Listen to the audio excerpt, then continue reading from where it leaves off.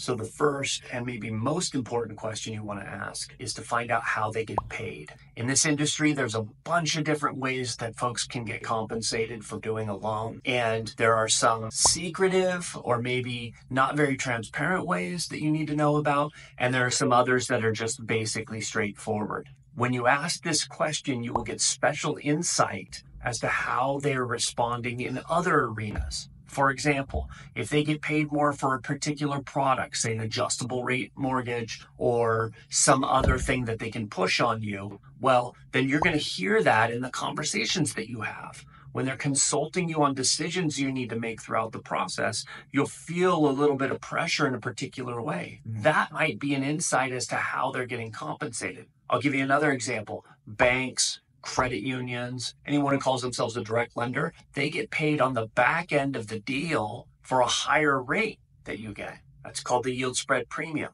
That can actually drive them to push you in a particular direction so they can get paid more.